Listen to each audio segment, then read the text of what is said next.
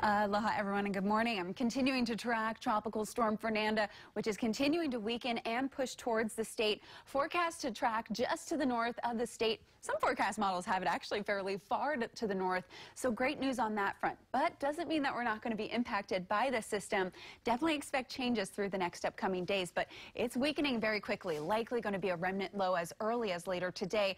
Winds consistently right now up to 45 miles an hour. Okay, what we have for today, a surface ridge just to the north of the state, that's going to be generating us nice breezy trade winds, keeping our breezy trades blowing through today. But those trade winds going to be easing as Fernanda continues to push a bit closer towards us and possibly completely shutting off our trade winds. But as of right now, with Fernanda kicking a little bit more to the north, we are expecting our trades to hang on a little bit. They're definitely going to ease off. You're definitely going to be feeling the humidity, but big changes coming uh, in those in these upcoming days. Now, in addition to that, today we have an upper level trough that's going to be forming near the state. That's going to be making things a bit unsettled. Unsettled weather starting this afternoon through tomorrow. In terms of rainfall, that's going to ramp up.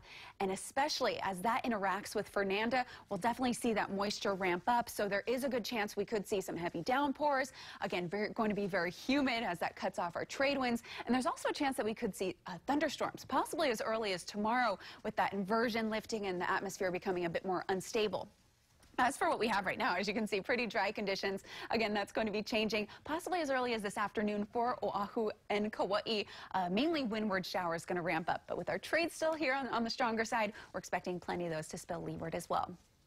And speaking of Fernanda, we're continuing to see elevated surf generated from this system. Five to seven foot faces here on Oahu, but for Big Island and Maui, up to about nine foot faces, if not larger. So because of that, we do have an advisory in effect. Flat to two for the north and west, and our south shores just one to three feet. High surf advisory for the west or the eastern facing shores of Maui and Hawaii Island. And boaters due to the mix of wind and waves, a small craft advisory is also in effect.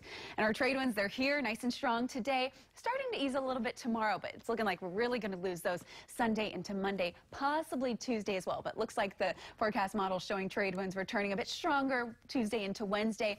About a 40% chance of rain. So don't get me wrong, still going to be seeing some areas of sunshine over the weekend as we see the effects of Fernanda, but there's also a very good chance we could see some very heavy rainfall. So stick with us. Looks like flood chances, though, very low. All right, Ron and Chris, back to you.